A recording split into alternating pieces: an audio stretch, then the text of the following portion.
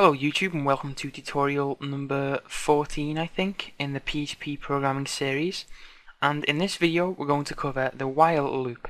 Now the while loop is a function in PHP which will allow you to execute a code as many times or no execute the code when a condition is true or while a condition is true. So let's say we want to create our PHP file.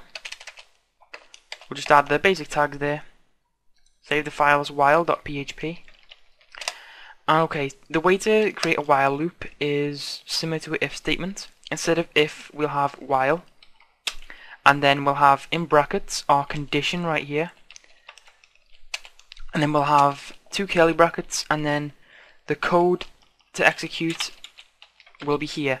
So we're just saying while and this condition is true, it's going to execute this code and as soon as this condition is false it's going to go right to the end. And execute any code we have here and then finish the document.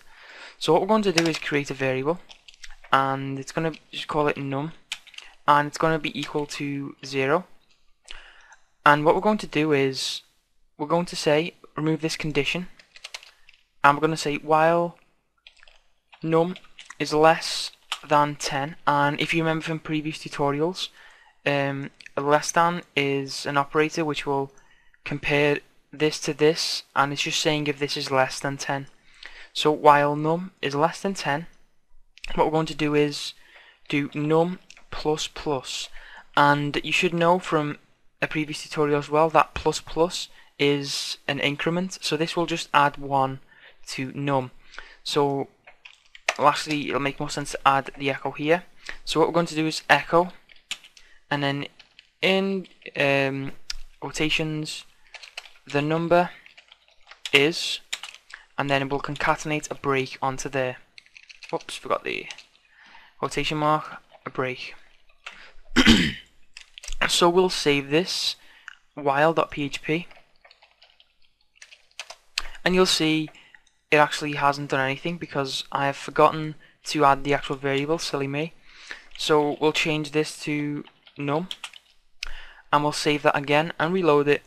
And you'll see it goes from 0 to 9 because we haven't set it from greater than equal to 10 it's just while well, it's been below 10 so let's just go over what this is doing. So we've declared a variable called num up here with the value of 0 now we're starting a loop right here and we're saying while num is less than 10 we are going to execute this block of code right here between these two tags. So okay let's, let's go through it. It's 0, okay, so we're going to check, yep, number's less than 10.